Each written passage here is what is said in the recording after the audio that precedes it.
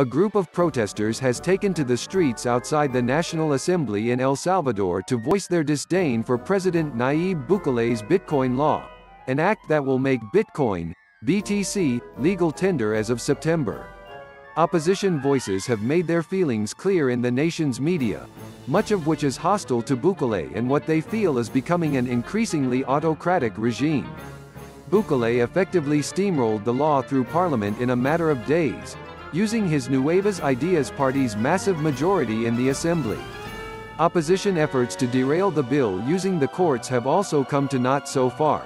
Although critics say this is largely due to the fact that Bukele has replaced previously hostile judges with legal experts allied to his populist cause.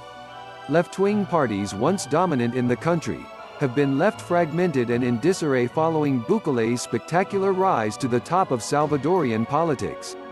But they have attempted to unite under the banner of opposition to the BTC law, after multiple polls showed most surveyed Salvadorians are opposed to the act.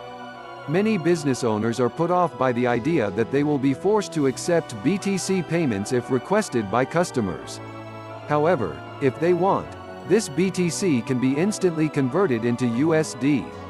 In a video shared by the newspaper La Prensa Grafica, protesters were shown carrying banners reading, other banners read, the Bitcoin law equals money laundering, and no to Bitcoin. Others still, though, appeared to be protesting Bukele's rule, with some banners reading, Fight against Bukele's regime. There were also banners on display for the Frente Social y Sindical Salvadorani, Salvadoran Social and Trade Union Front, and the Bloc de Resistencia y Rebeldia Popular, Popular Resistance and Rebellion Bloc, two left-wing movements that have expressed their displeasure with the law. The minority FMLN party, two of whose MPs have attempted to launch a parliamentarily bid to block the bill, also shared a video of the protests, showing a heavy media presence. The videos featured a speech from an activist named Idalia Zuniga, representing the Bloc de Resistencia y Rebeldia Popular, telling reporters that the law would create legal insecurity and could be used to defraud citizens and facilitate money laundering. She added that citizens refused to accept this law without adequate consultation.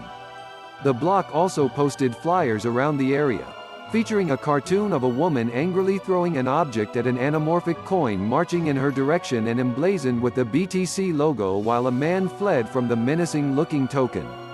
Critics have claimed that the government is hiding behind coronavirus pandemic mitigating social distancing measures in an effort to suppress larger demonstrations against the law.